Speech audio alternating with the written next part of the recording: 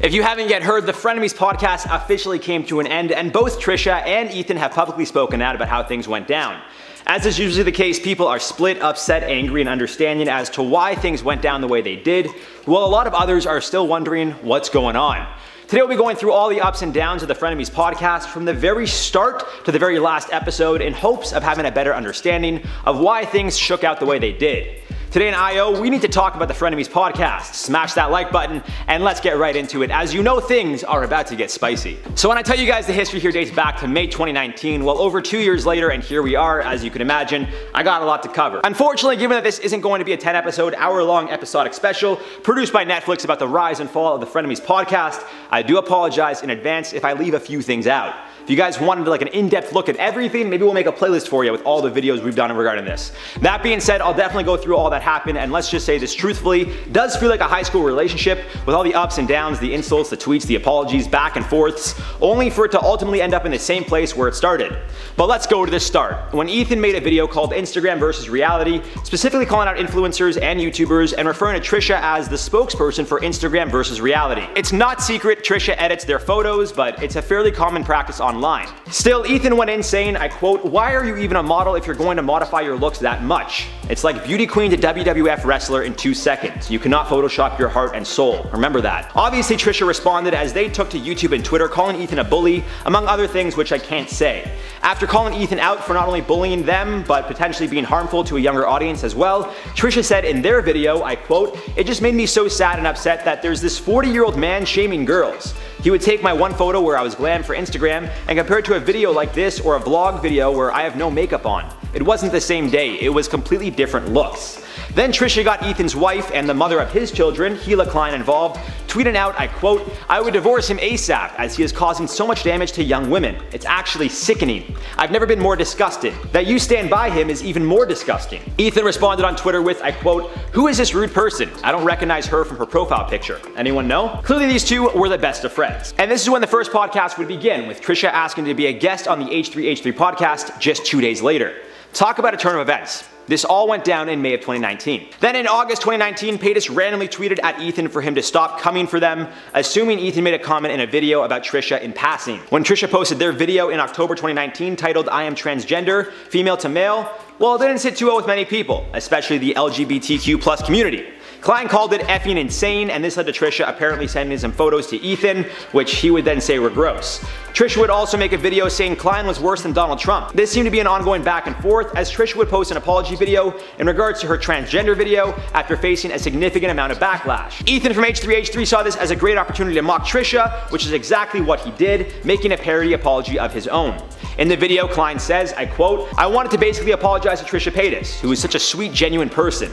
I wanted to, first of all, apologize for saying that she looked like she was at an open casket funeral. She was the corpse inside of a casket. You're so beautiful, you're such a queen. This was at a time before Trisha came out as non-binary. In October 2019, the idea of them doing another podcast together appeared to gain traction on Twitter, with Trisha saying they'd want $18 million and Ethan telling them they'd do it for free. And then Trisha was yet again on the H3H3 podcast, and it seemed like the group actually enjoyed each other's company. It was strange given the apparent tension we'd seen in their tweets and videos, but H3H3 and Trisha actually looked like they were just vibing, bro. And we all love ourselves a good vibe, right? After the podcast, Ethan thanked Trisha and said it was fun having them in the studio. That's interesting. It seems something was cooking, as Trisha would then appear in a Bachelorette styled episode of the H3 podcast, where the two hosts were trying to find Trisha a partner in February of 2020. One of the contestants was actually Hila's brother, Moses Hacmon, and oddly enough, that's who Trisha appeared interested in. The rules were simple. Ideally, Trisha wouldn't message the contestants off camera, but if they did, Klein had to know about it. As we know, in March 2020, the pandemic hit numerous countries very hard, and this led to shutdowns of anything and everything. H3H3 productions were included, but Trisha apparently broke the rules of their game and was in contact with one of the contestants from The Bachelorette show without Ethan knowing. To add insult to injury, the contestant Trisha was not only speaking with, but apparently was seen, was Ethan's brother-in-law, Moses.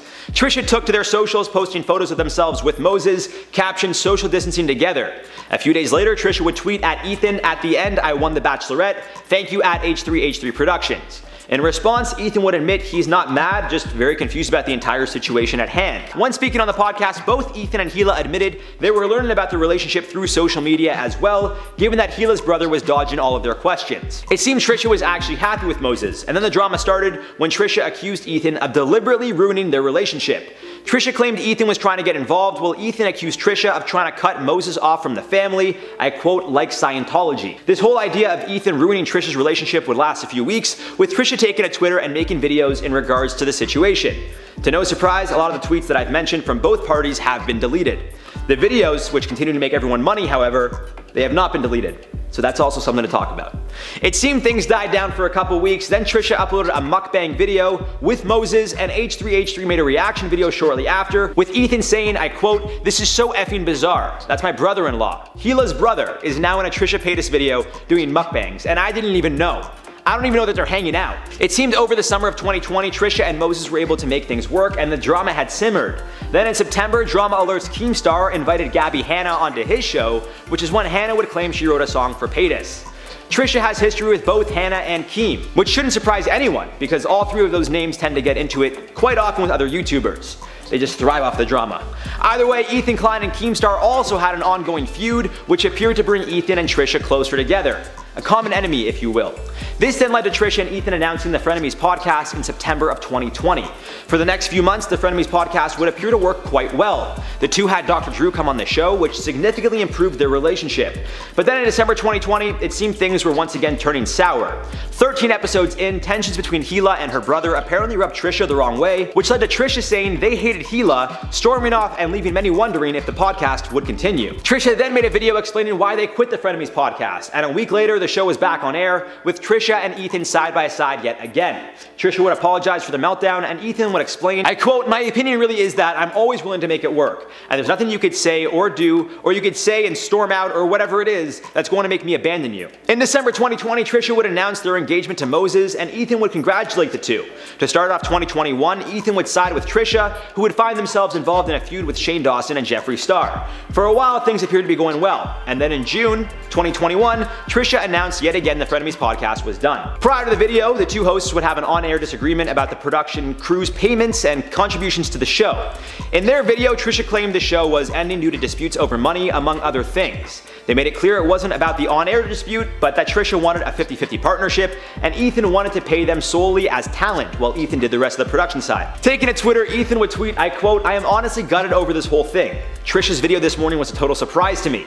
I don't really know what more I could say or do. I'm very sorry to all the fans of Frenemies. I know how much it meant to everyone. I did everything I humanly could to save it. Paytas then made another video and would take to Twitter explaining it wasn't about money, but more so having a say and input about the show's direction. Klein would go on to tweet that the crew members of the production were starting to receive hate, and that is when things had crossed the line. Referring to Trisha's video, Ethan said, I quote, Instead of talking to me and handling it privately, they put out another 20 minute video that caused my crew to get so much hate, they are now privating their instas. Trisha said they were not trying to incite hate and had no issues with the H3 crew, but that Ethan was trying to manipulate the situation, explaining they shouldn't have been discussing money on camera in the first place. Trisha also said they too were receiving hateful messages. Trisha then started to post screenshots of messages between the two, one in which Trisha actually exposed herself for making a pretty wild comment, which I would love to speak more on, but I'm not going to just, I don't know, it goes to show the kind of person Trisha is. Anyways, Klein would end up deleting all his tweets saying he was going to take a step back. I quote at the end of the day, Frenemies was a beautiful experiment that I will always cherish. I've learned and grown so much from the experience and have Trisha to thank for that. She's been a dear friend of mine throughout and I'll always be grateful for all she's done for us. And guess what happened next guys? Truly a shocker here. Trisha would make another apology video, talking about how embarrassed they are. Ain't that something? Explaining how they don't want any drama with anyone on the internet, Trisha apologized to the crew and said although they were sad to leave, all good things must come to an end. Trisha uploaded another video titled I'm Sorry in which they yet again apologized to Ethan, referring to the time that they said they hated Hila and said it was the lowest point of their lives. Trisha also said they never fully recovered from that point and they'll be trying to stay offline for a while. Ethan then made a video speaking on the situation. In the video, he said he wanted to clear up any confusion. I quote, and so I say with peace and love that as a friend, I have come to love and appreciate Trisha. As a partner, I think they are one of the funniest people I've ever known, one of the most talented people, one of the most dynamic and entertaining people I've ever known. So creating frenemies with them is going to be one of the all-time highlights for me. It's been such an amazing ride. I've learned and grown so much from it on a personal level from them and from you guys, the audience. Trisha wasn't done, as they would upload two more videos titled Ethan Lies Part 1 and Part 2. Which, I mean, didn't they say like, didn't they finish their last video with they'd be staying offline for a while? Anyway, Trisha would claim Ethan was lying and manipulating the situation. It seems most of Klein's videos spoke on the investment costs and how any money made from frenemies would be put back into the production. Trisha argued this both on Twitter and in a YouTube video. In their sixth video regarding the entire situation, and I believe third video just a couple days after they said they'd be taking a break, Trisha uploaded a video titled, This Needs to Be Said. Oh, what could it be? In the video, Trisha made it clear they didn't want anyone from the H3H3 production to lose their job, and that they were leaving to be respectful to the crew. Even though it appeared the decision to leave was made prior to the whole situation involving the crew, Trisha explained, I quote, Me leaving the show is me showing respect for them. I don't want to be this person that people walk on eggshells and feel disrespected. I don't want to be that person. That's all I was saying by leaving the show. Trisha also said they could no longer trust Klein, and I quote, None of this feels good, it all feels really crappy. I'm appreciative of everyone who worked on the show, I am. Ethan hasn't spoken on the situation since June 9th when he tweeted two days ago. And that's all there is to it, at least as of now. Should any updates occur, we'll let you guys know. As always guys, let me know your thoughts in the comment section down below, but for now, let's do some comment replies from the video. Trisha Paytas accuses Ethan Klein of lying, and boy oh boy, let me say, you guys were mad at Johnny. You guys really gave it, like, you gave it to him, which I don't think you guys fully understand, but anyways, I don't think he's a Trisha fan at all. I don't think he really cares all that much. He's just got sources and he just Anyways, Daniel Ramos said, tell me you're blindly a Trisha stan without telling me you're blindly a Trisha stan. That comment made me really, like that comment really got to me because like, I can tell you right now, Johnny Rogers is not a Trisha stan. I don't think he's ever even mentioned Trisha's name outside of making a video or discussing videos with me and at work. Like, definitely not a Trisha stand. Nicole Angelella said, I'm sorry dude, but she's the problem, not Ethan. Let's not forget she's literally fighting with her future brother-in-law over nothing. So, uh, Nicole, I will say, Trisha is referred to as they, as they are non-binary, so I'm not trying to call you out, I'm just saying people might get mad at that comment, so just want to clarify that. I'm not going to speak much on the situation. I, I'm trying to stay unbiased here. Uh, I have my personal opinions about both sides. I think it's just important for people to remember, like there's, when all, all this drama goes down, all the videos stay up, and a lot of them still have ads, which means they're making people money. So like that's also something to keep in mind guys. Lockbis Monster said, falsely, she twists everything and is being a manipulative person she has been all along. Uh, yeah, I mean, I look, I just broke everything down. As they say, there's three sides to every story. You know, the two sides and the truth. I don't know. It, like the fact that the videos, all I'm gonna say is the fact that a lot of Trisha's videos are, are, are still up uh, and Ethan hasn't spoken much on the situation for, for a couple days now, that's a little telling to me. But again, I don't know. I really, I, I'm not like, to me, this isn't a situation I won't even get involved in because they're adults. Let them handle it. All right, guys, that's all for this one. I've been your boy Pepper. We'll see you soon.